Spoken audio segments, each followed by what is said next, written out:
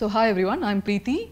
Um, I'm in the Department of Computer Science at IIT Bombay. And so today my tutorial is going to be about uh, ASR systems. I'm just going to give a very kind of high level overview of how uh, standard uh, ASR systems work and what are some of the challenges. Um, and hopefully leave you with some um, open problems and things to think about. So for the uninitiated, so what is an ASR system? Uh, it's one which accurately translates spoken utterances into text. So text can be either in terms of words, so it can be a word sequence, or it can be in terms of syllables, or it can be any subword unit, so phones, uh, or even characters. Uh, but you're translating speech into uh, the, its corresponding textual form. So lots of well-known examples, and most of you must have encountered at least one of these examples. So YouTube's um, closed captioning. So an ASR en engine is running and producing the corresponding transcripts for the, the speech, the audio, and the video clips. Then voicemail transcription. Even if you've not used it, you might have looked at it and laughed at it because it's usually typically very bad. So the voicemail transcription is also an ASR engine which is running. Dictation systems were actually one of the older prototypes of ASR systems, and I think now it's obviously gotten much better. But I remember Windows used to come prepackaged with a dictation system, and that used to be pretty good.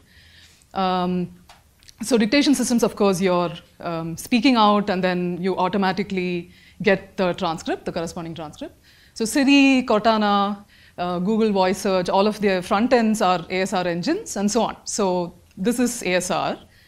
But if, so I didn't get a picture for Cortana, I apologize. So this is uh, Siri.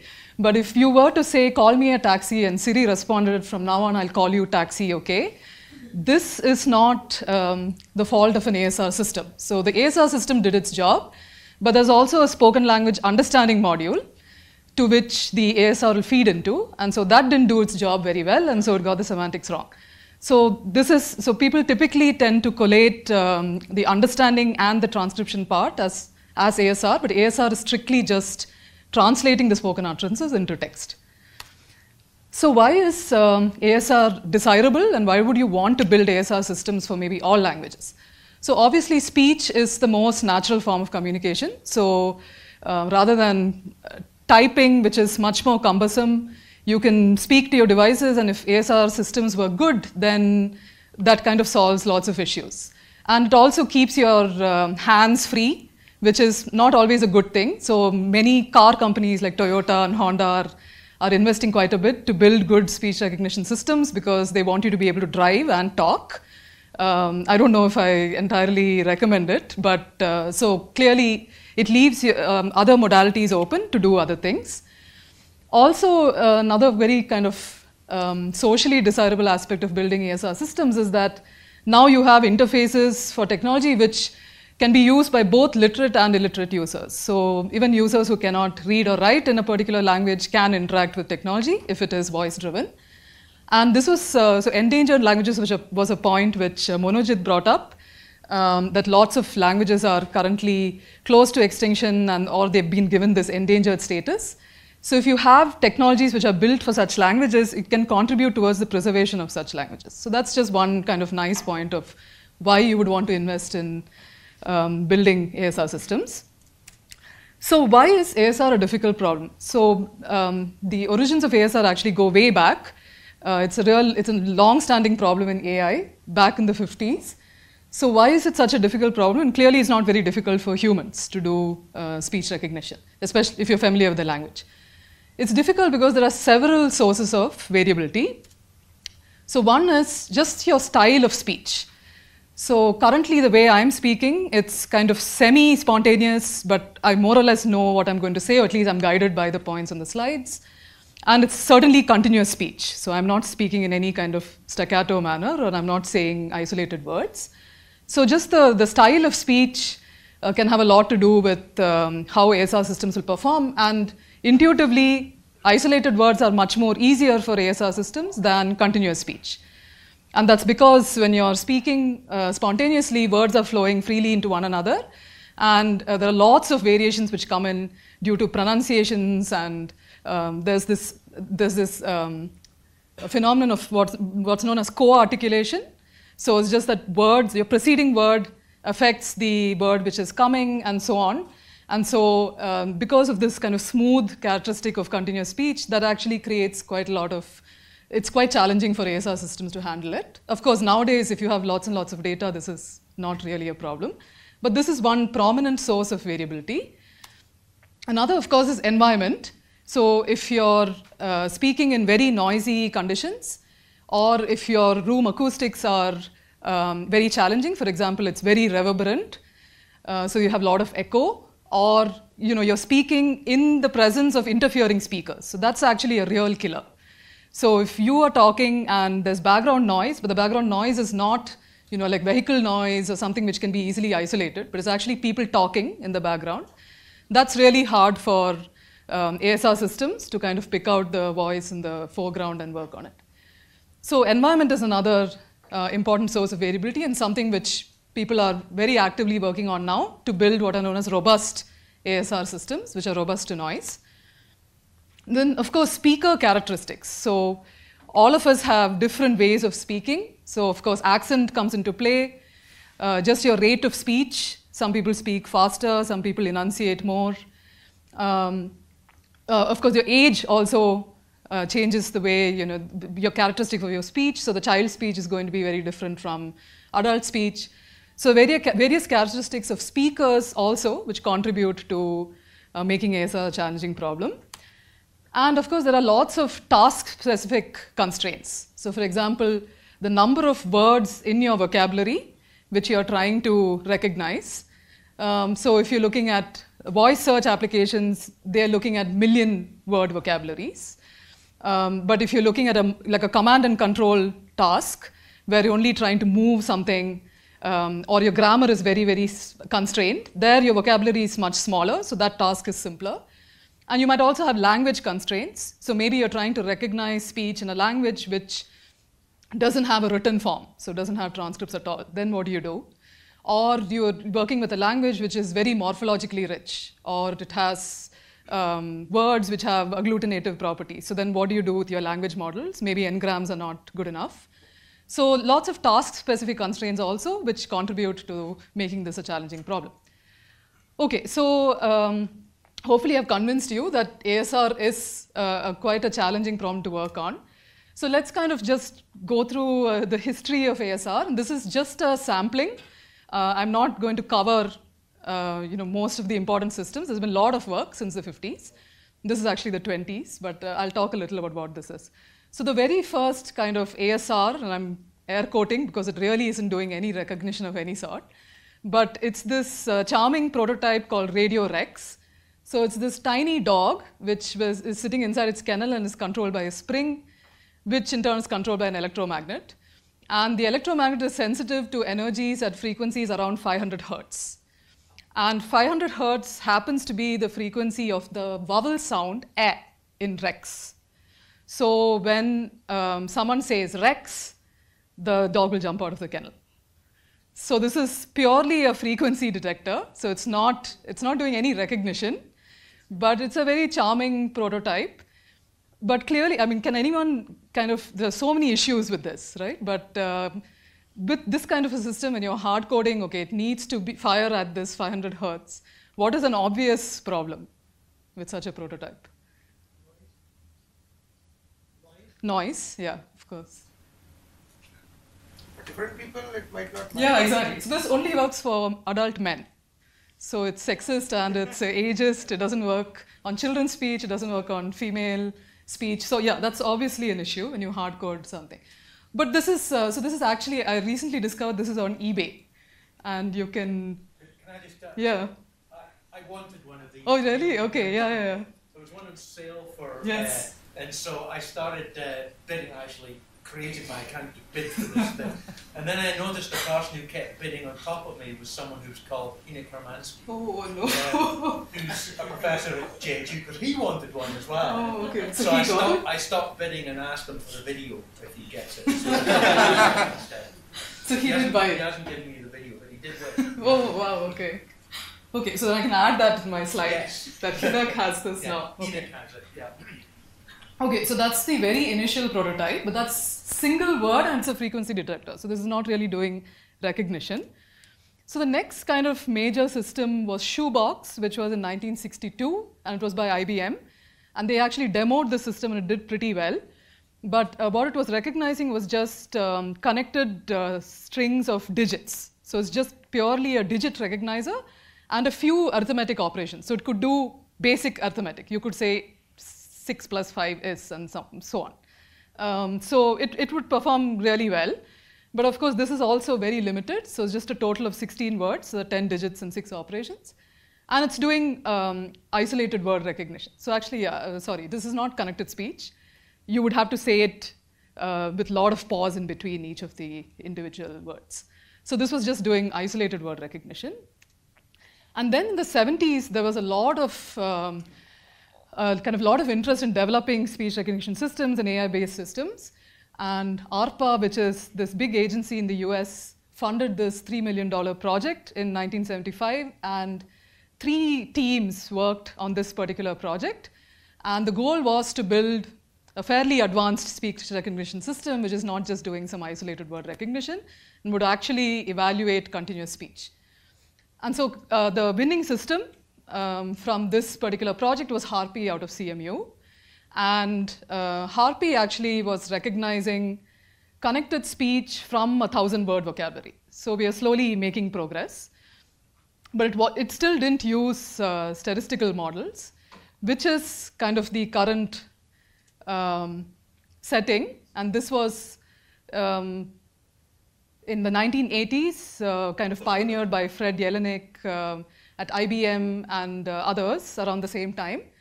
Uh, statistical models became very, very popular to be used in speech recognition. And the entire problem was formulated as a noisy channel. And one of the main uh, machine learning paradigms which was used for this particular problem were hidden Markov models. So I'll come to this uh, not too much in detail, but at least at a high level, I'll refer to this in coming slides. So uh, these statistical models were able to uh, generalize much better than the previous models because the previous models were all kind of rule-based. And now we are moving into uh, 10K vocabulary sizes. So the vocabulary size is getting larger, and um, these are now kind of falling in what are known as large vocabulary continuous speech recognition systems. Although, of course, now large vocabulary is much larger than 10K. Um, but um, that was in the 80s, and we were in this plateau phase for a long time. And uh, in 2006, um, deep neural networks kind of came to the forefront. And now all the state-of-the-art ASR systems are powered by deep neural networks. So all the systems that, any of these systems you might have used, uh, Cortana, Siri, voice search, they're all, uh, at the back end, they're powered by deep neural network-based models. So, uh, okay, so this is just a video which was actually quite impressive. And this is, it happens to be by the CFO of Microsoft, um, Rick Rashid. And this was a really impressive uh, video. So this came out in 2012 um, when Microsoft had completely shifted to deep neural network-based models in the back end. I mean, even in, the, in their production models.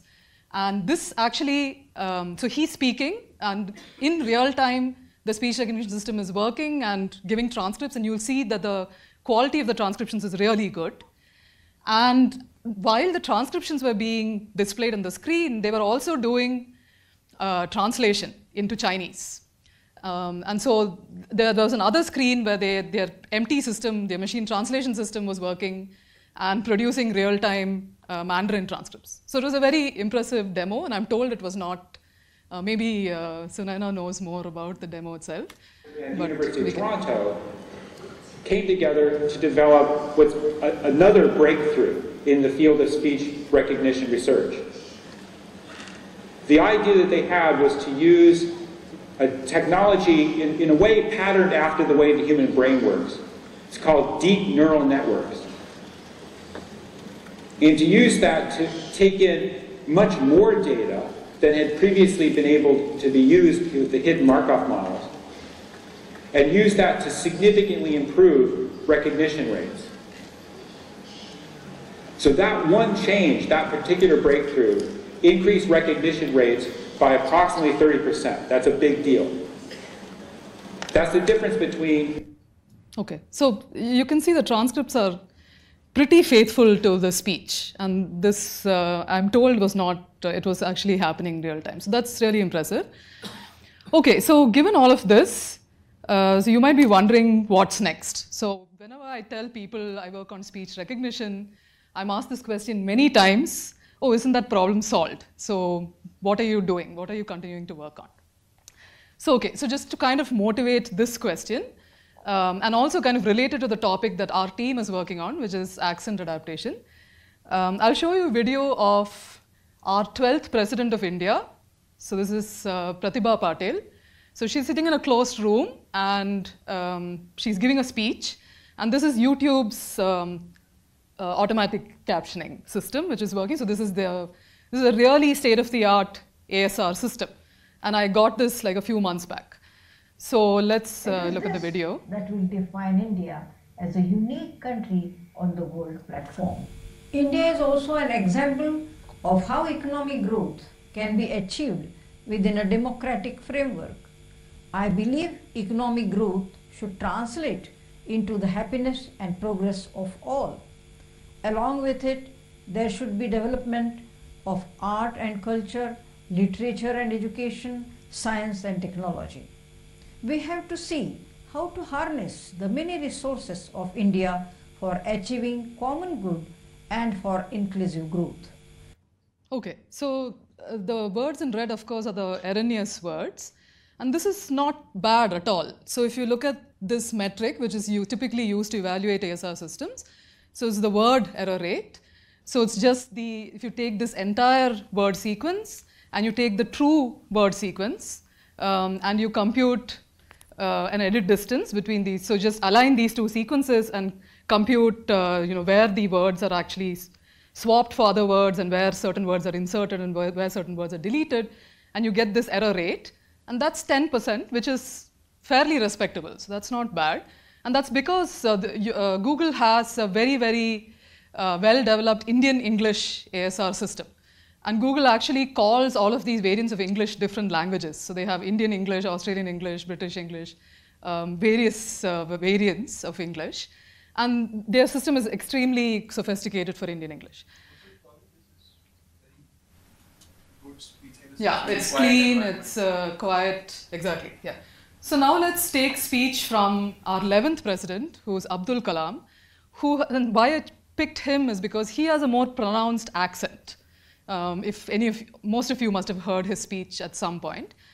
Uh, so let's look at how. The battle, which any human being can ever imagine to fight, and never stop fighting until you arrive at your destined place.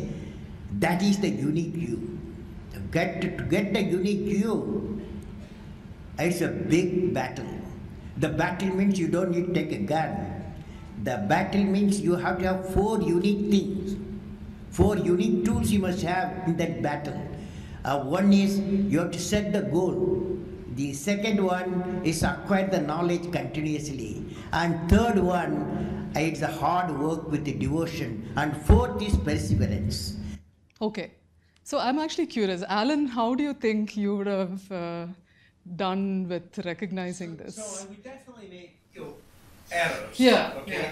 Because he is much more heavily Yes. accented. Yeah. And what's really hard is if you're following the transcript, I'm thinking, yeah, That's that's exactly what I said. No, no, no. I would use a language model if I was listening to it, you know, and, and not seeing the transcript. Yeah, yeah. But I, uh, I'm assuming most of us in the room are definitely going to do better than this, right? Uh, definitely better than 39%. Um, so actually, when I, I've shown this video before, and some people from the crowd said, but this is not fair because not only, I mean, cannot entirely attribute it to accent because he's in this large room, the, it's more reverberant than the previous video. His um, sentence structure is quite non-standard, like, you know, he moves in and out of various sentences. So this, and of course, Pratibha Patil was reading. Uh, so the, it's read speech has a very, very different um, kind of grammatical structure than this, right? So, so I said, okay, let's try to make it fairer, right? So I chose someone who is an American English speaker, but has an accent, because my hypothesis is that accent had a lot to do with uh, this misrecognition uh, rate getting higher. So this is an American English speaker who has a strong accent and has very non-standard word order. And uh, so an obvious choice was Sarah Palin, if you know who she is. Most of you know who Sarah Palin is. Okay. Illegal immigrants welcoming them in, even inducing and seducing them with gift baskets. Come on over the border and here's a gift basket of teddy bears and soccer balls. Our kids and our grandkids, they'll never know then what it is to be rewarded for that entrepreneurial spirit that God creates within us in order to work and to produce and to strive and to thrive and to really be alive. Wisconsin, Reagan saved the hog. Here, your Harley Davidson. It was Reagan who saved. Okay, so um, if I were to try and predict what the next word is given her word context, there's no way I could reproduce this because it's quite arbitrary, right? You have no idea what she's going to say next. You showed me that transcription, I would say, well, it's clearly mostly wrong. Nobody would actually say that. yeah, so uh, here clearly language model can only help so much because this is really, it's quite arbitrary. She has a strong accent, but um, uh, YouTube's ASR engines do have a lot of uh, southern dialects in their training data. Um, so at least the, and she's also speaking to a large crowd in the open. So the acoustic conditions are somewhat similar to the previous video, and the only difference is that the, the speaker in the previous video had a much more pronounced accent. Um, so I'm not saying that it entirely had to do with the degradation in performance, but that certainly was a major factor in why the speech recognition engine didn't do as well. Yes? The second time it picked up correctly gift basket, but the first time it says with your baskets. So, like, Is that. Uh, Illegal immigrants welcoming them in, even inducing and seducing them with gift baskets. Come on over the border and we'll um, so are you saying like it could not print for the first time that it's gift and it said your, but the next time it correctly identified. Oh, I see, I see. The second, uh, yeah, what yeah, yeah. So, I mean, there are multiple um, things here at play. So maybe after I show the structure of an ASR system, I can come back to this question. Um, any other questions uh, so far? Okay. Okay, so let's actually um, move into what's the structure of a typical ASR system. So an A- this is more or less the pipeline of what's um, uh, typically in an ASR system. So you have uh, an acoustic analysis component which sees the speech waveform and converts it into some discrete representation and uh, or features if uh, most of you are familiar with uh, the term features. So the features are then uh, fed into what's known as the acoustic model. Uh, so actually, instead of explaining each of these components here, I'll kind of go into each of these individually and explain it more. So the very first component is just looking at the raw speech waveform and converting it into some representation which your algorithms can use. So this is just at a very, very high level. There's a lot of underlying machinery. I'm just giving you an overview of what's going on. So you have the raw speech signal, which uh, then is discretized because you can't really work with this raw speech signal. So you sample it and generate these discrete uh, samples. And each of these samples are typically of the order of um, 10 to 25 milliseconds of speech. And the idea is that once you have each of these, what are known as frames or speech frames, which are roughly around 25, sometimes even larger, um, but typically 25 milliseconds, then you can extract acoustic features which are representative of all the information in your signal. And another uh, reason why you discretize it at particular uh, sampling rates is that the assumption is that within each of these frames, your speech signal is stationary. Um, if your speech signal is not stationary within the uh, speech frames, then there's, there's going to be, uh, you can't effectively extract features from that particular slice. So, around 25 milliseconds of speech. Yeah. So you extract features, and this feature extraction is a very um, involved process, and it requires a lot of um, signal processing know-how. But this is also kind of motivated by how our ears work. So actually, one of the most common acoustic feature representations, which are known as Mel frequency cepstral coefficients or MFCCs. They're actually motivated by what goes on in your ear or the filter banks which apply in your ear. So that might be you know, too much detail. So just let's just think of it as follows. So you start with your raw speech waveform. You generate these tiny slices, which are also known as speech frames. And now each speech frame is going to be represented as some real valued vector of features, which is capturing all the information and as far as possible is not redundant.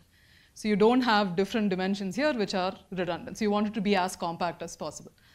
So now you have these features for each frame.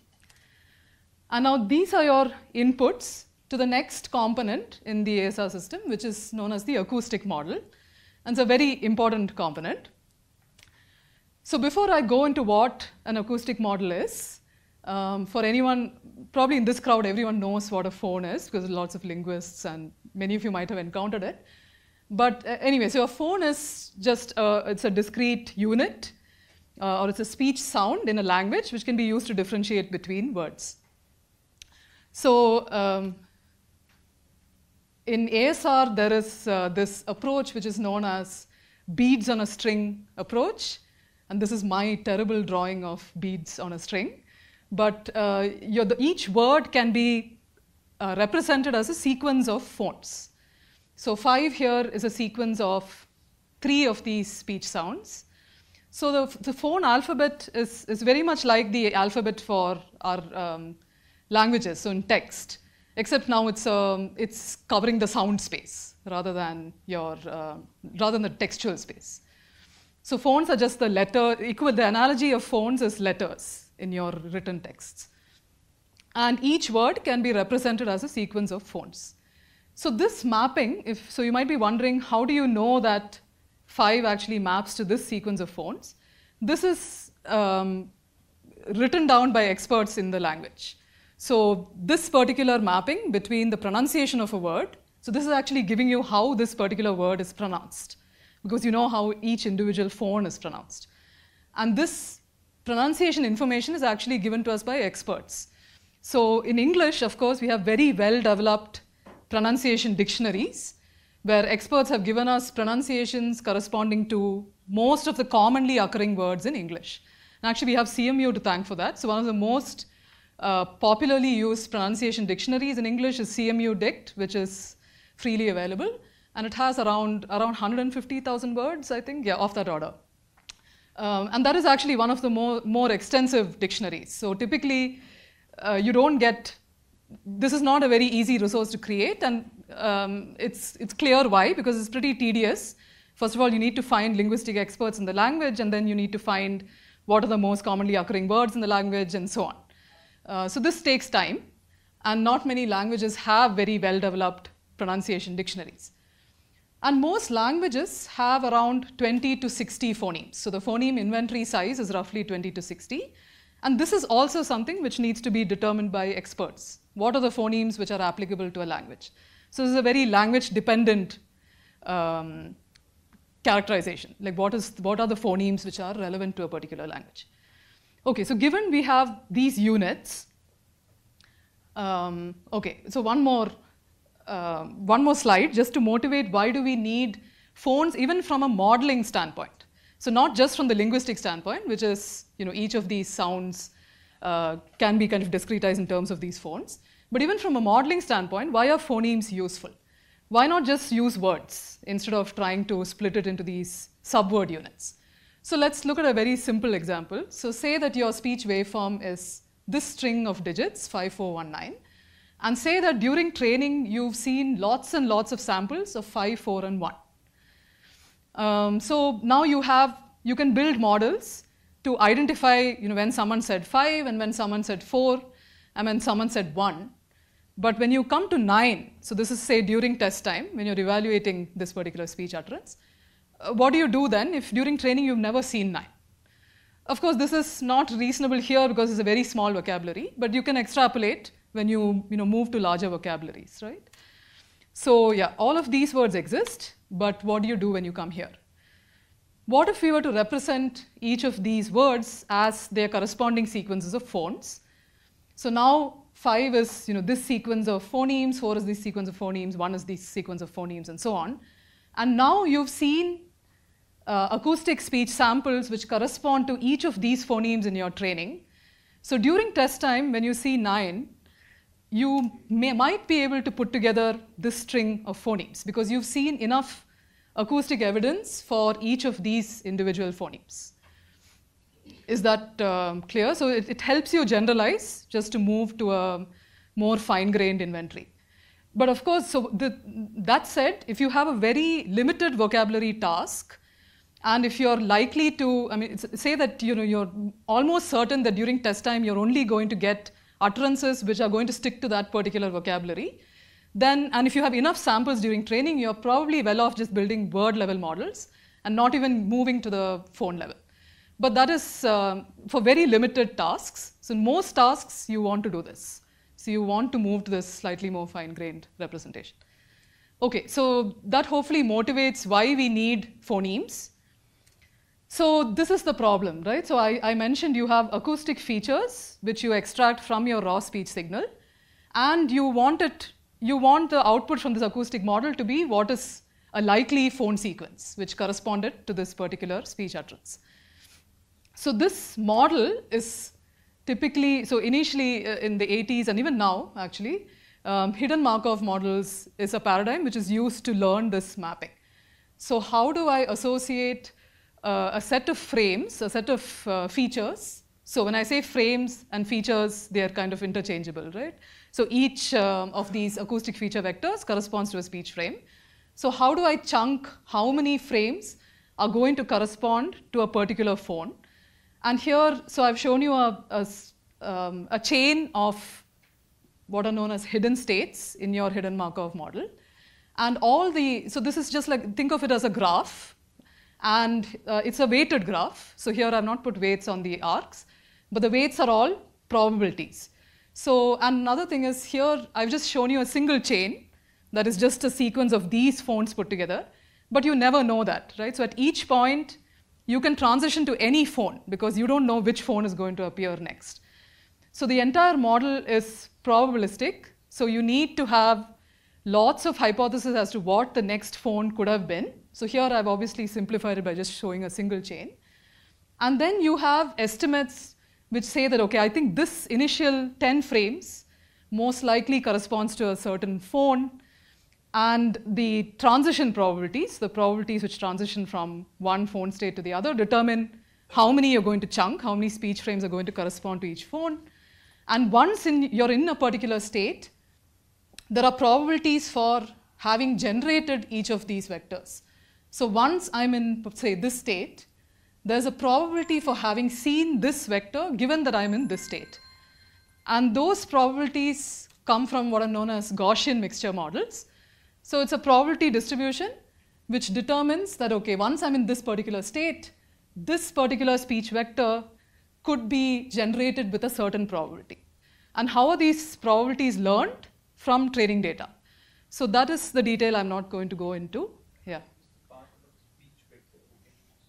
Yeah. This is just the, uh, the acoustic vector. That's it, yeah. Uh, so any questions uh, so far? Okay, so this is, um, I've obviously glossed over lots and lots of details, but this is just to give you a high level idea of, you have a probabilistic model which maps sequences of feature vectors to a sequence of phones. Okay. So hidden Markov models were the state of the art for a long time. And now, of course, we have deep neural networks which are used for uh, a similar mapping. So now you have your speech signal, and again, you're extracting fixed windows of speech frames. And from these, so say that you're only considering a speech frame here, and then you have, oh, I have a laser pointer. Yeah. So say you're considering a speech frame here, and then you look at a fixed window around it, a fixed window of frames around it, and you generate, put all of these features together, and that is your input to a deep neural network. And the output is what is the most likely phone to have been produced given this particular set of speech frames. So, but this is a posterior probability over the phones. Um, so I'm not, I'm not going to go into details about what this is, but again here, you get an estimate of what is the phone given a speech frame. What is the most likely phone? So it's actually a probability distribution over all the phones. And there are two ways in typically where, in, in uh, typically how DNNs are used in acoustic models. So one is, in the previous slide I mentioned, when you have HMMs, you have these states and then you have these probability distributions which uh, govern how the speech vectors correspond to a particular states. And these probability distributions are mixtures of Gaussians. But you could kind of not use mixtures of Gaussians here and instead use probabilities from your DNN. So that is one way in which the DNN and the HMM models can be combined and used within an acoustic model. Uh, so please feel free to stop and ask me any question. So um, at this point, I'm not really clear uh, if I'm going too technical or, uh, so please feel free to interrupt at any point. So this is, so the idea is that we, we want to map acoustic features to phone sequences, and this is all probabilistic. So we are not giving you a one best sequence. We are saying this is the likely probability distribution of phone sequences. Okay, so that is the output from our acoustic model. Yes? Yeah. Uh, uh, uh, the once you are uh, at the hidden state, Yeah. what are the observation and the acoustic features? Yes, exactly. The observations are the acoustic features, and then you have probability distributions. How for that this. is mapping to the DNN? How's, uh, so the probability distribution for the, so you're familiar with HMMs. So you have observation probabilities. So your observation probabilities, either they can be Gaussian mixture models, or your observation probabilities can be scaled posteriors from your DNNs. So it's just the probability distribution, your observation probability distribution can come from the DNN. Okay, so this is um, the acoustic model which produces phone sequences. So now we eventually want to get a word sequence, right, from the speech utterance. So this is just an intermediate representation, these phones. So now how do I move from the phones to words? So I mentioned we use these large pronunciation dictionaries. So this is the model which provides a link between these phone sequences and words. So here, typically, just a simple dictionary of pronunciations is maintained. So you have these large dictionaries which say that these words correspond to these sequences of phones. And this is the only module in an ASR system that is not learned. It's not learned from data. So the acoustic model was learned from training data, and we'll come to the language model that is also learned from data. But the pronunciation model is actually expert uh, derived. So an expert gives you these mappings. So I'll talk a little about uh, some work I did during my thesis, which was on pronunciation models. And it, it's kind of um, hinting at how restricted this particular representation is. So I mentioned that each word can be represented as a sequence of phonemes. So we looked at um, a very popular speech corpus called switchboard, uh, a subset of switchboard, which is very, very, um, it's annotated at very detailed level. So not only do we have word sequences corresponding to the speech, we also have phonetic sequences. So it's also phonetically transcribed, meaning someone listened to all of the utterances and wrote down the phone sequence the corresponding to what they heard. And this was obviously done by linguists. And when I say phone, they actually listened to how the word was pronounced, not what the word uh, should have been according to some dictionary. And why I'm saying this is because there's a lot of pronunciation variation when you actually speak, right? So certain words, even though the dictionary says that it should be pronounced a certain way, because of our accents or just because you're talking fast and so on, the word actually ends up being pronounced in an entirely different way. So for some data from this corpus, we actually had phonetic transcriptions which were giving us exactly how people pronounce those words. So if you, one thing that really stands out from the data, so let's look at just four words. So this is probably sense, everybody, and don't. And the um, uh, row in blue are the phone sequences corresponding to these words according to a dictionary. So this is how the word should be pronounced according to um, an American. Um, so this is the American pronunciations. And these were the actual pronunciations from the data as transcribed by a linguist. So obviously, what is the first thing that stands out here? There, yeah, definitely there is not, there's no one pronunciation corresponding to the word. There are lots of possible pronunciations, and you will also see um, this is, you'll see lots of like entire syllables are being dropped out of words. Um, so, yeah, speaking very fast. It's wrong, but it's completely legible from the speech. I mean, just because of the context and so on. But they're speaking very fast. Um, so if you actually look at the uh, phonetic transcriptions, there are entire syllables missing. And of course, these are also perfectly legitimate pronunciations, right? So sense, when you say the word, it almost feels like you're inserting a uh, at the end before the last sir sound. Sense. Um, so there are lots of alternate pronunciations for words. And I don't remember the exact number, but I think the average number of pronunciations they found for a word was of the order of four or five. So very far from a single pronunciation for a word. Okay, so we thought, why not? So clearly there's a lot of pronunciation variation.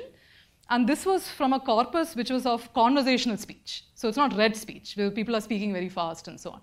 Read speech tends to be more clear and they enunciate, and they tend to stick more to the dictionary pronunciations.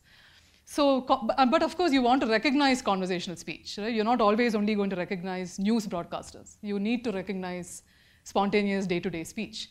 So how do we kind of uh, try and model this pronunciation variation? How do we computationally model this?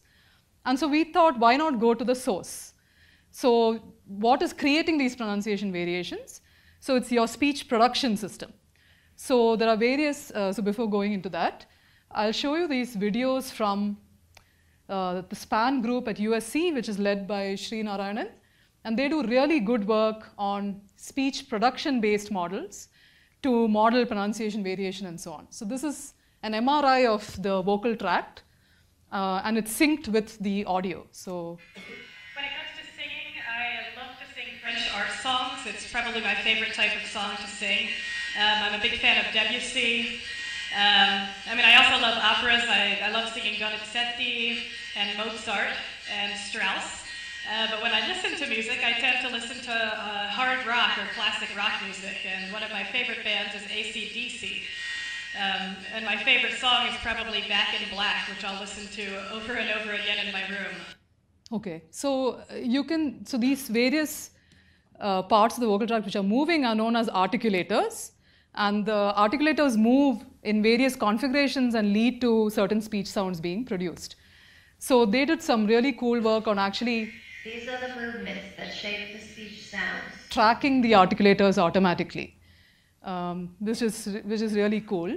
So we didn't actually use these, uh, con- these actually these continuous contours, but we said let's discretize the space. So there are these various articulators which move and there are various configurations of these articulators which lead to various speech sounds being produced. So if we can discretize the space and say that, okay, there are eight vocal tract variables, and each of these variables can take one of n values. Then different value assignments to these tract variables can lead to different sounds. And this didn't just come out of the blue. So there's a lot of linguistic um, analysis on speech production, and there are lots of linguist, very well-developed linguistic theories on speech production. And we used one of them, which is known as articulatory phonology. So I'll come to that in a, in a single slide. So now everybody, which used to be the sequence of phones, can now be represented as these streams of articulatory features. So these, if you have each variable which takes different values, now you'll have these um, quasi-overlapping streams of articulatory features which lead to a particular word and how it's being pronounced. And so why do I say they're overlapping? Because they're not entirely independent, right? So one feature can affect how another feature uh, behaves. So this uh, idea was, so we, we kind of got inspiration from this work on, on this theory called articulatory phonology by Browman and Goldstein, where they said that this representation of speech as just sequences of phonemes is very, very constrained and it's very restrictive. So let's think of speech as being represented as multiple streams of articulatory movements And that actually gives you a much more elegant framework to represent pronunciation variation. So if, if I had to go back to the previous uh, slide where I showed you all the various pronunciations, to try and kind of motivate how you went from the dictionary pronunciation of probably to one of these things, it would require kind of deleting three phones, inserting some other phone, like a huge edit distance in terms of phones. So how do you actually motivate such a large deviation in pronunciation? But it turns out that if you represent pronunciations as these streams of features, you can explain pronunciation variation in terms of asynchrony between these feature streams. So just because certain um, of certain features are not synchronously moving, so you know certain you're all say that you're producing a nasal sound, and in the next your next sound that you're producing is a vowel, but then there's certain remnants of the nasality which hold on, and so your vowel also becomes a little nasalized, and so on. Um, so there was an example which um, I thought might be, um, may not be entirely, uh, uh, may, may, not have time to go into. So the idea is that this articulatory feature uh, framework gives you a, a more elegant, uh, gives you more elegant explanations of pronunciation variation. It's certainly more elegant, but it's very hard to model.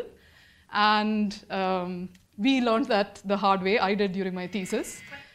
Uh, so we used this representation and we built what is in the olden days, you know, these are called DBNs, which is not deep belief networks, it's dynamic Bayesian networks. So it's the olden day DBN. Um, so it's just a generalization of hidden Markov model. So the hidden Markov model that I described in the acoustic, while I was talking about acoustic models, this is just a, a generalization of that particular paradigm. So you have various variables which represent each of these articulatory features, and then you can represent constraints between these variables and so on. So just by, yeah. Yeah. Yeah, yeah. I wish I had that slide actually. Um, if you don't mind, can I come to this at the end? Because there's a slide which clearly shows. Uh, so, uh, so when you say five, right? So yeah. I, yes. right? Yes. And now instead of using you want yeah. to some Yes. So now, okay, actually we can take that as an example. So fur. So now I'll say fur. So now I'll break the fur sound into these eight variables and the values it takes. The values it takes to produce the sound fur. So your one-to-one mapping, right? it's no, it's actually not a one-to-one mapping. So we left it, we kept it probabilistic. So um, it is mostly one-to-one, but it's not entirely one-to-one. So we did allow for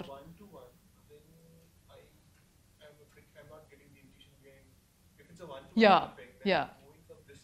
It's not a one-to-one mapping. Yeah, it's not a one-to-one mapping. But even if it was, yeah, so actually, if I show you that example slide, I can clearly explain it. So please remind me at the end of the talk. I'd like to show that.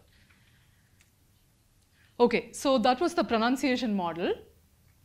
And the final model is what's known as the language model, which many of you might actually be quite familiar with.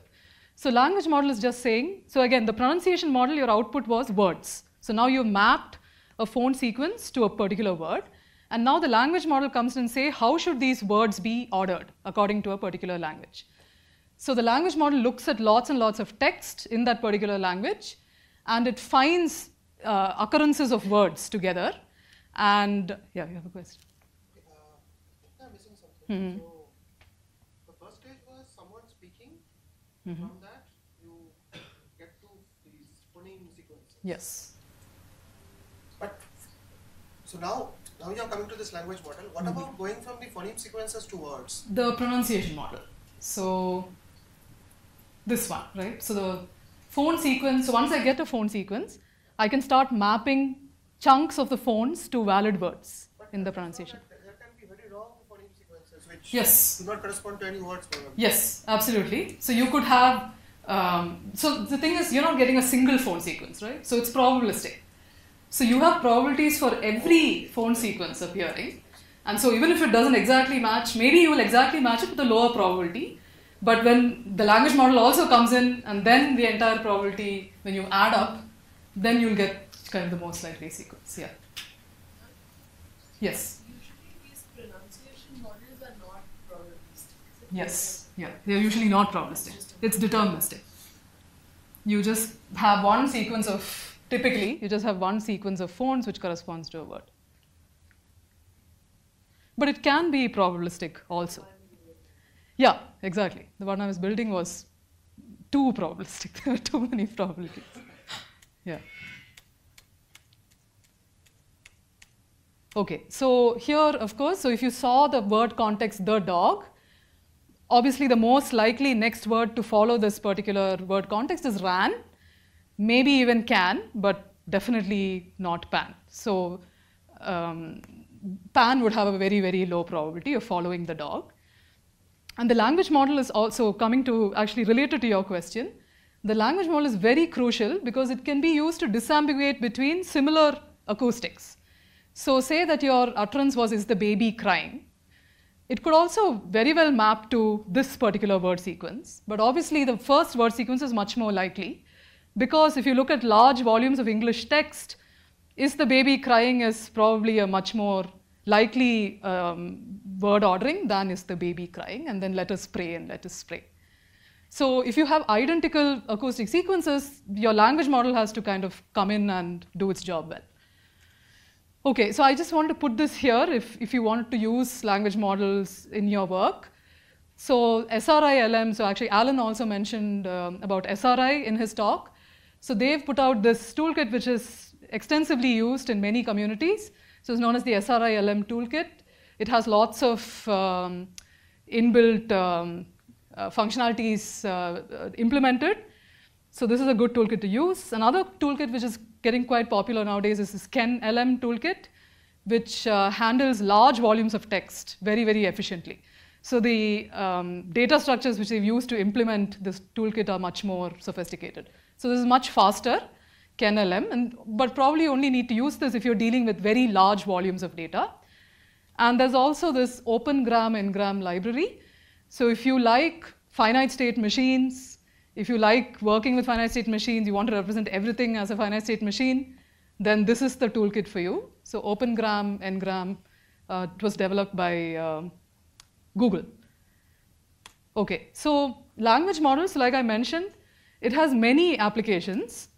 So speech recognition is just one of them. Machine translation is another application where language models are heavily used handwriting recognition, optical character recognition, all of these also would use language models on you know, either letters or on characters. Spelling correction, again, language models are useful here because you can have language models over your character space. Summarization, dialogue generation, information retrieval, the list is really long. So language models are used in a large number of uh, applications. So I just want to mention um, this one point about language models. So we mentioned that you look at these word contexts and you look at counts of these words and these word contexts over large text corpora in a particular language. How often does this particular uh, set of words, how, how often do these particular set of words appear? And then you compute some relative counts. So you see, okay, this, these chunks appear so often and these are the total number of chunks.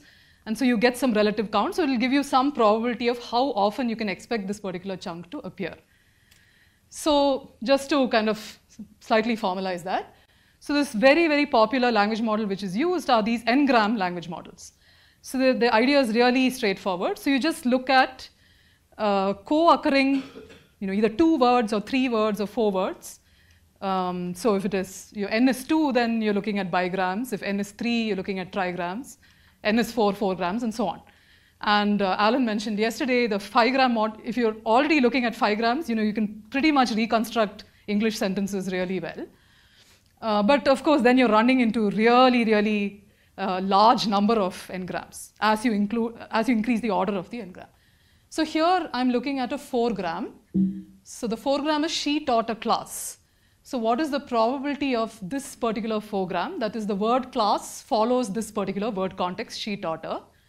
So you look at counts of she taught a class in large volumes of English text and then you normalize it with the counts of she taught her, which is the word context.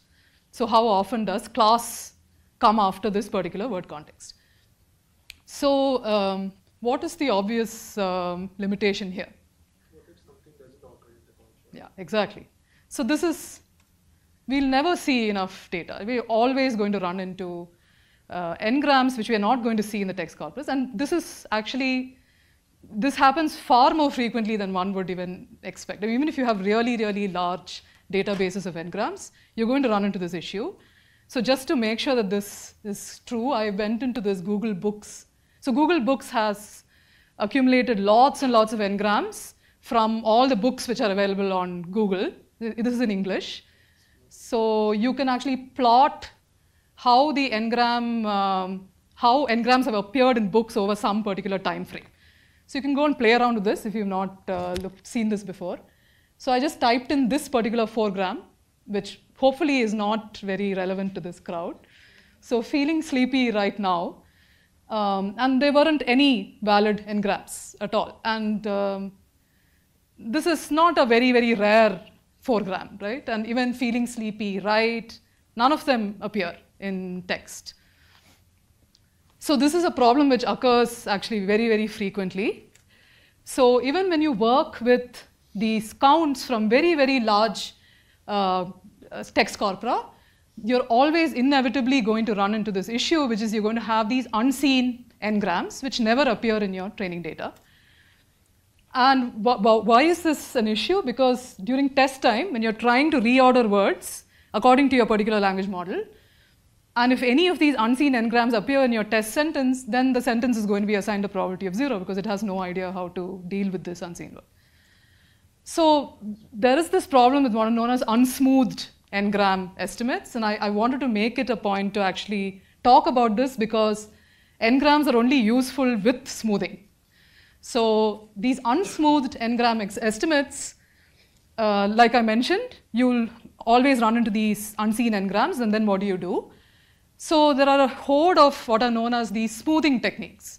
So you're going to reserve some probability mass from the seen n-grams towards the unseen n-grams. And then there are questions like, how do you distribute that probability mass across the unseen n-grams? And there are various techniques for that as well. Like how do you distribute that remaining probability mass? So this is, there's kind of lot, a lot of work on smoothing methods and it's very useful to make n-gram models use, to, to make them effective.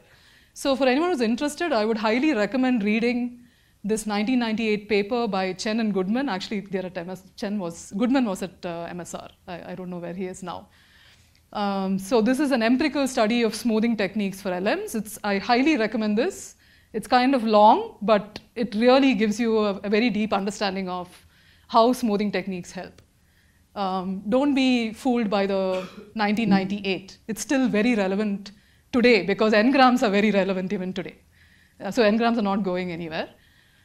Um, so I'm not talking about what the latest language models are, but these days in speech recognition systems, we've moved towards these what are known as recurrent neural network based language models.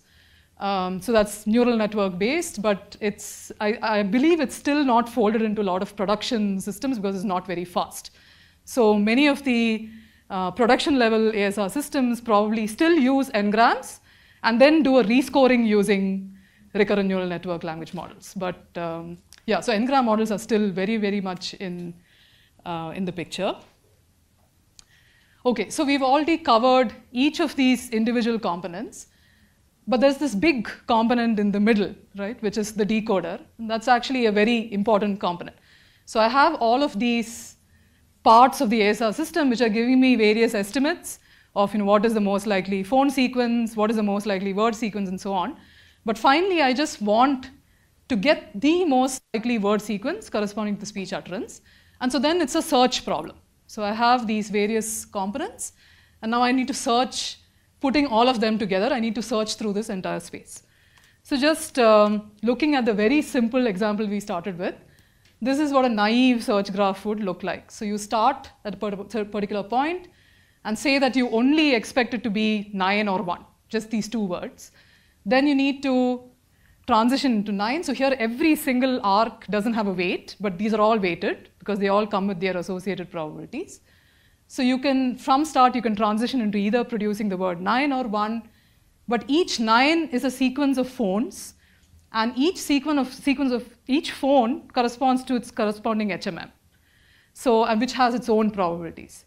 So this is already, you can see this is slight, this is quite a large graph just for these two words. And we are at least, uh, like a half decent system will be looking at at least 20,000 or 40,000 words. So you can imagine how much this search graph blows up. So these are really large search graphs. And um, I think I have another slide. Yeah, so if you had, say, a network of words as follows. So the birds are walking, the boy is walking. This is really simple, right? This is not an n-gram model.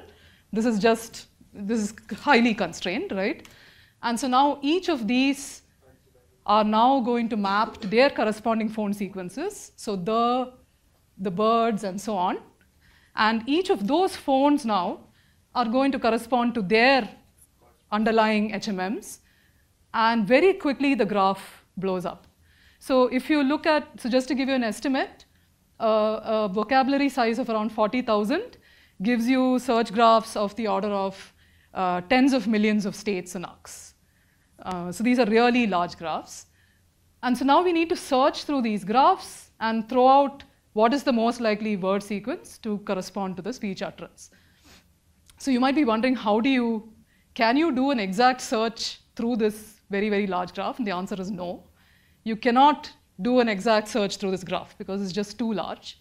So you have to resort to approximate search techniques, and there are a bunch of them um, which do a fairly good job. So none of these speech systems that you work with are actually doing an exact search through this graph.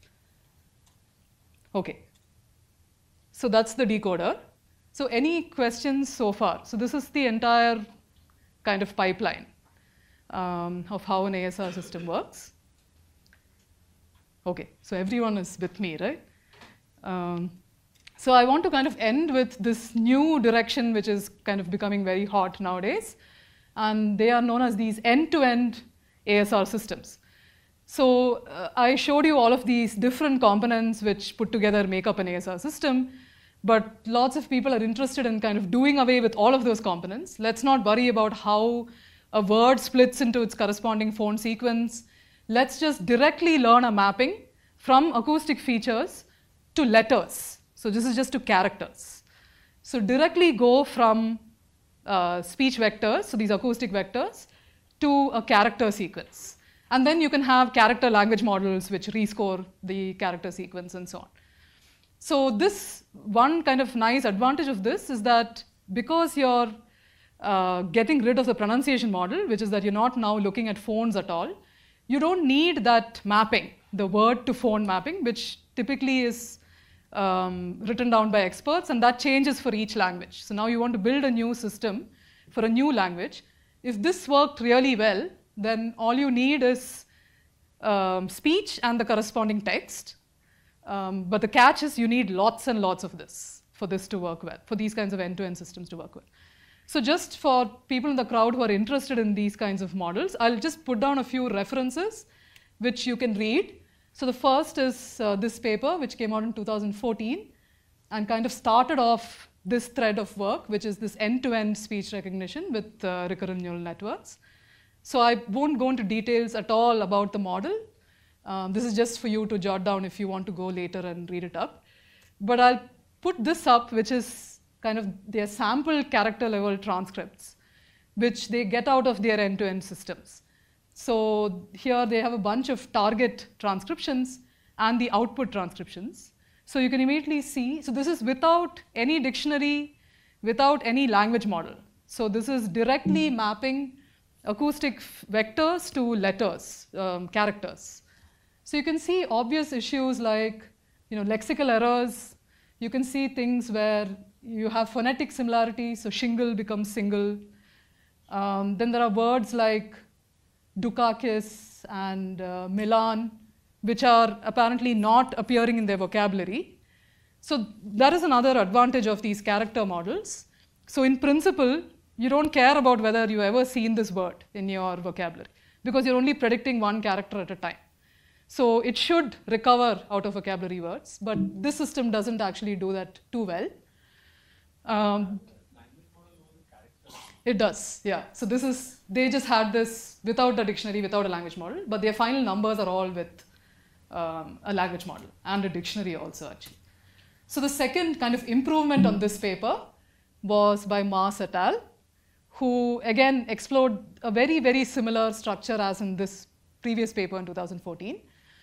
And they had this kind of interesting analysis, which I wanted to show. So on the x-axis, you have time, and each of these graphs correspond to various phones. So remember, in their system, there are, there are no phones at all, but they just uh, accumulated bunch of speech samples which correspond to each of these phones and averaged all the character probabilities corresponding to those particular phones. So here you can see that K obviously comes out, but so does C. So the letter C also corresponds to the K sound. And interestingly for sh, so this is the phone sh. So S and H, so SH definitely comes out, but so does TI, because as in shun, T-I-O-N. So you would uh, pronounce that as sh, right? So that actually comes out of the data, which is uh, pretty cool. So this, yeah, this was a nice analysis. So um, they do only slightly better than the previous paper. And yeah. So the x-axis is time in frames. You can think of it in speech frames. And these are just the character probabilities. Yeah. So the last system, which came out in 2016 and kind of significantly improved over these two, uses this very popular paradigm now in, um, in sequence-to-sequence models, which are known as encoder-decoder networks or sequence-to-sequence uh, networks, which was first used for machine translation. And now they applied it to this particular problem and also included what is known as attention. And all of these bells and whistles together definitely make a difference. But um, I want to mention that end-to-end systems are not, not yet close to the entire standard pipeline that I showed you earlier. Um, so people would really like to bridge the gap between end-to-end systems and these whole pipelines because uh, clearly you know, these are much more, at least easier to understand in some sense, at least from a modeling standpoint, although it's not easier to understand what it's doing. Um, yeah, so there's a lot of work going on in this particular area, but these systems require lots of data, lots and lots of data to train. And that's because not only are you trying to understand what are the underlying speech sounds in the speech utterance, you're also trying to understand spelling. You're trying to figure out what spelling makes sense for a particular utterance. And clearly for a language like English where the orthography is so irregular, uh, it's a hard problem. And so this, these models require large amounts of data to work well. Okay, so I'm going to come back to this question I posed initially which is what's next. So what are all the kinds of problems that we could work on if anyone was interested in speech recognition.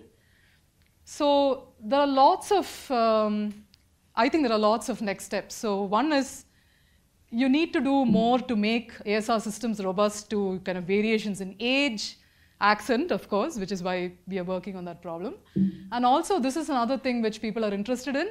So just speech ability so there are people, say, with speech impediments, that they stutter or they have other um, issues, and they're not able to speak as clearly as maybe all of us in the room. So how can we kind of adapt ASR systems to work well with those people? And this is a real, um, very challenging task. So how do you handle kind of noisy real-life settings with many speakers? This goes back to kind of Alan's dream of having a bot which is sitting in a meeting and kind of transcribing and figuring out what is going on. So that would also involve the, AS, the underlying ASR system in that bot.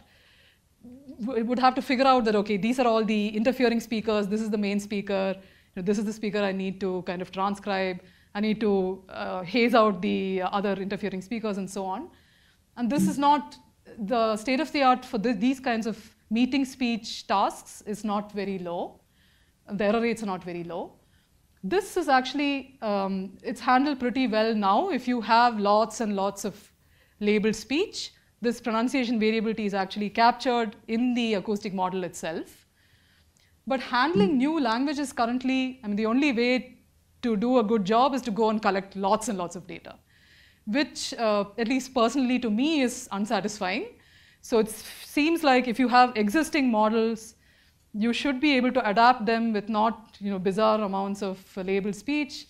At least if they're somewhat related, we should be able to do a, a half decent job by taking existing models and adapting them to the new uh, language that we want to recognize or the new dialect we want to recognize. Um, so th the, there are these problems, and I think that so we in computer science we're always trying to do things faster and to be more efficient, right? In uh, both computationally and uh, trying to do things faster from both the computational power standpoint and memory standpoint. But we should also try to be resource efficient. Right? We don't want to keep going and collecting more and more data every time we come up with a new task. So can we do many of these tasks with less? So can we kind of, this is something that I'm very interested in personally. So can we reduce duplicated effort across domains and languages? And also can we reduce dependence on language specific resources? And this is of course the, the holy grail, I think. Training with less labeled data and actually making use of unsupervised data, um, unlabeled data better. Okay, so I'll, I'll also show this one direction which uh, Microsoft is working on and it's, it's, kind of very promising. So this is uh, just an excerpt from an ad. So this is Skype. Can you understand me now, Shangbin? 你现在能理解我吗？Tom，你会讲中文啊？He, you speak Chinese. Yeah, I mean, if that worked as seamlessly as it worked here, that would be pretty cool. So I'm, I'm told this was uh, just set up for the ad. Um, but so uh, Microsoft has been working a lot on speech-to-speech translation, and I think this is a very interesting problem uh, because speech also can have, there can also be cues in speech which help disambiguate um, utterances in, for the machine translation part and so on. So I think there is something which can be leveraged from the speech, from the speech uh, component, from the ASR component. Uh, so this is something that we talked about a little bit, which was you know, using uh, speech production models and how we can uh, build um, speech production inspired models to handle pronunciation variability. And that actually, in principle, does reduce dependence on language specific resources. Because all of us have the same vocal tract system, right? So there are only so many ways in which uh, our different articulators can form different uh, configurations and produce sounds. So in some sense, at least in principle, moving to that kind of a model does reduce dependence on language specific resources. So we don't need to come up with phone sets corresponding to a particular language if you're going to represent all of the pronunciations in terms of these articulatory features. But there are other problems with that method. Um, and this is another problem which I think uh, is very interesting. So how do you handle new languages and not have to collect loads and loads of data?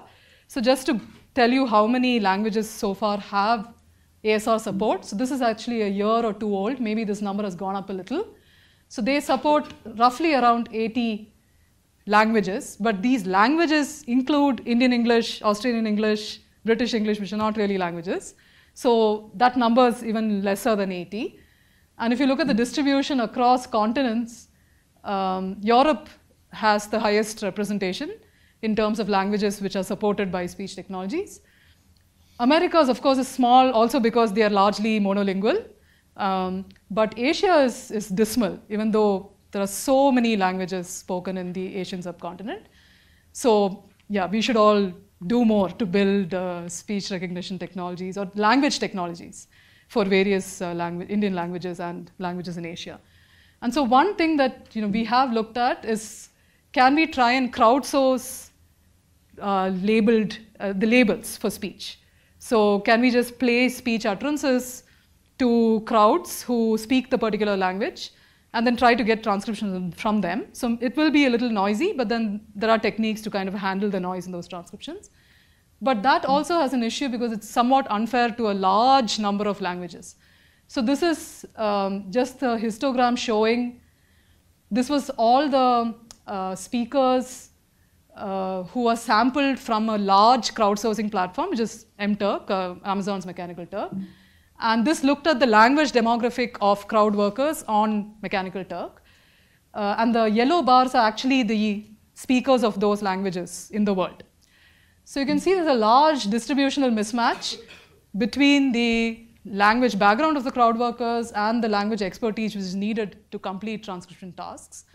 And if you look at, I mean, this tail is really, really long. So forget about minority languages or languages which, you know, it's very, very hard to get native speakers on crowdsourcing platforms. So this also may not really be a viable solution always. So I think there are lots of interesting problems to think of in that space. Um, so with that, I'm going to stop. I'll kind of leave you with this slide. Uh, yeah, I think I'm doing good on time. So thanks a lot. I'm happy to take more questions.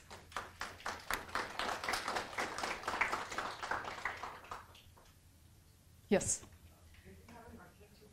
Incoherent, co-articulate. Yeah. It would completely cripple the language model. Mhm. What's the Yeah, so language, in language models, you can back off all the way to a unigram model. So as long as each of the individual words you've seen somewhere in the language model, and if your acoustic model is good, so it's going to give you a somewhat reasonable phone sequence corresponding to the underlying speech, you might still recover the word sequence even though the language model doesn't give you uh, too many constraints. So for example, I think with um, Sarah Palin's speech, the language model, I don't think anything more than maybe a bigram model helped, or maybe a trigram model at the most. Uh, so as long as the, those in, the individual words have been seen in text, in large volumes of text, and if your acoustic model is good, you can still recover it, even if uh, there is no continuity between the words. Is that does that answer your question? Yeah. Any other? Okay. Yes. Uh, based on your work in your thesis, uh, Yeah. do you ever feel a need uh, to have more than 40 phones, for example, in English? I mean, because I thought it was probabilistic based. Did you ever find some peak somewhere which, uh, which you felt that having more than 40 phones would probably? Oh, uh, would it help to have more than 40 phones? Actually, the um, um, so 40 is the number of phonemes. Yeah, but uh, so the number of phones in English is more than 40. So even in that those phonetic transcriptions, uh, the number of phones were you know uh, almost close to 80. Uh, because it's actually annotating all the fine-grained variations. Um, and that, of course, helps uh, if you have that kind of, but where are you ever going to get that level of phonetic annotation? Yeah. Yeah.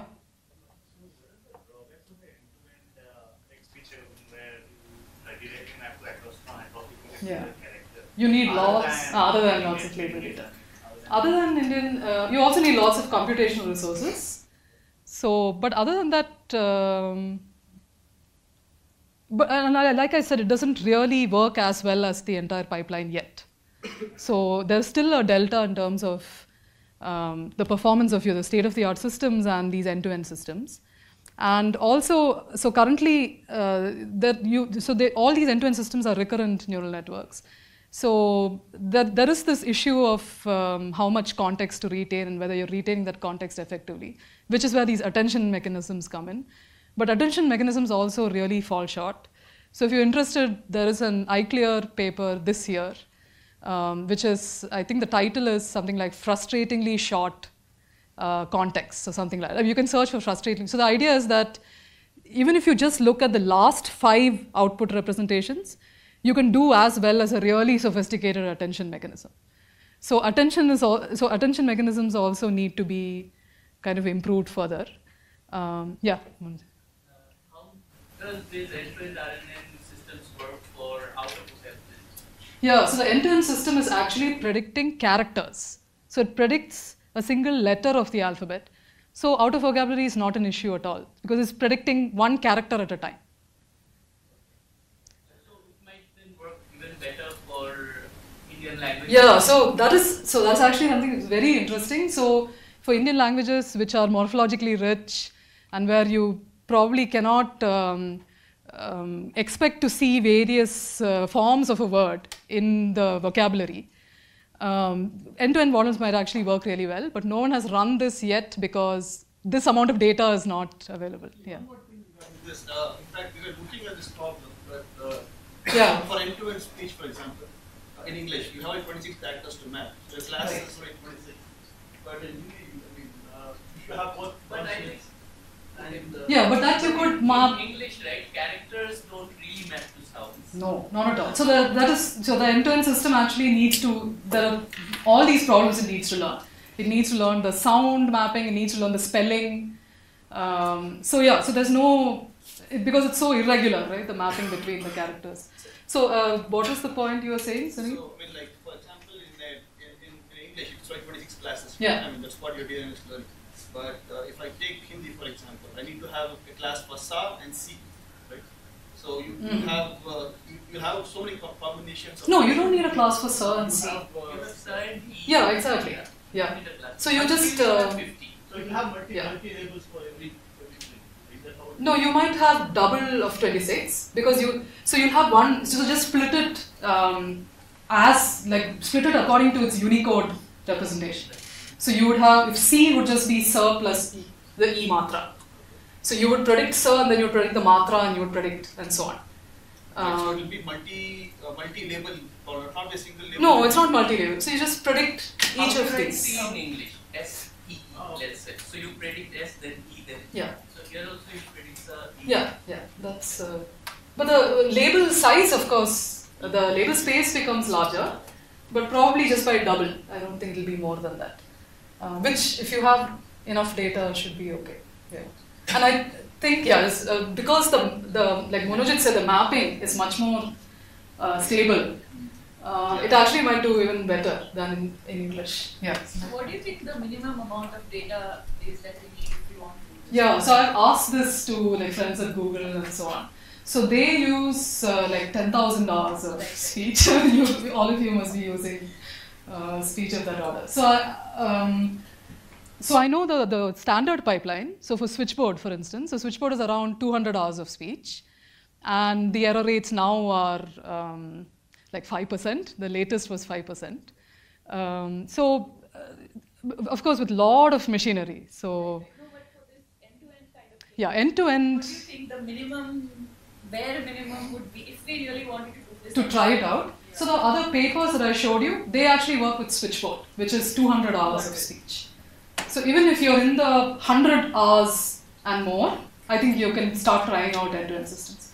But if you're looking at 10 hours, 20 hours, I think. Uh, but I, would still be interested to see experiments on Indian languages with even smaller amounts of data.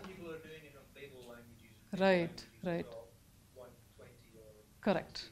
Yeah, yeah. So Yeah. really has to be appropriately similar data. Yes. So if it was all, you know, lectures from one person, then maybe. Yes, yes, yes. That's true. That's true. With the same Yeah. acoustics. Of course, Um, yeah. Uh, but you probably need good transcriptions, uh, but don't underestimate that if you were doing it for Hindi, there is no Yeah, I think that it. doesn't have English Yeah, that's a very. Uh, I think that'll be a really good experiment to run, even with just ten or twenty hours of Hindi speech. Uh, how an end-to-end system will perform. Yeah.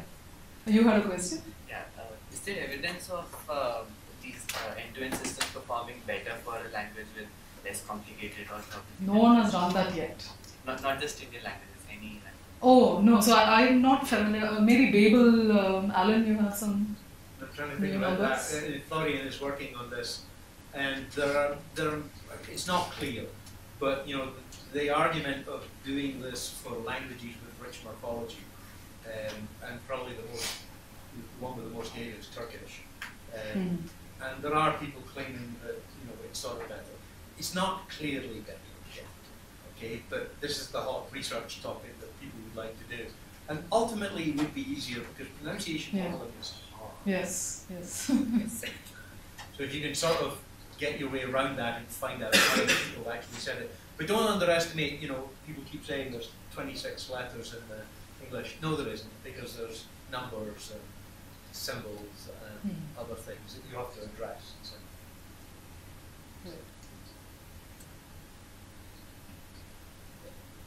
Okay. All right. Thanks so much.